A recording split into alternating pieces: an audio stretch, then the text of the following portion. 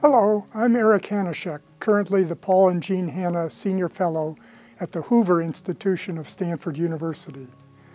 I am deeply honored to have been awarded the Yidan Prize for Education Research.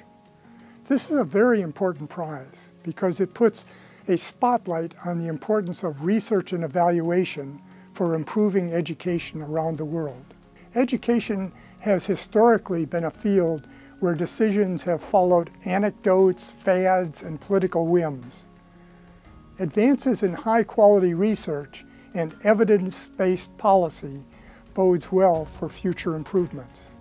My research has been driven by an underlying belief that the economic successes of both individuals and nations are highly dependent on the skills of the population.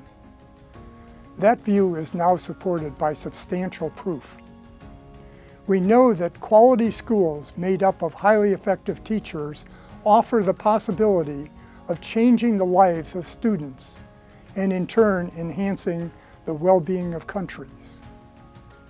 The Yidan Prize will support the creation of a fellowship program for developing countries. This program will yield a network of local people who are capable of using data and evidence to identify and establish better educational policies. The initial effort will be with African countries. Working with local NGOs and think tanks, I hope to catalyze educational improvements in places with the greatest needs. In receiving the Yidan Prize for Education Research, I cannot help but recognize that today there is little single-authored research. I have worked over a long period of time with a set of people who have contributed significantly to my thinking and my writing. Those include my trusted intellectual partner and collaborator, my wife Macke Raymond, my U.S. co-author Steve Rivkin, and my German co-author Ludger Woessmann, and my deeply missed collaborators John Kain and John Quigley. Time doesn't allow giving sufficient attention and credit to my other 75 co-authors.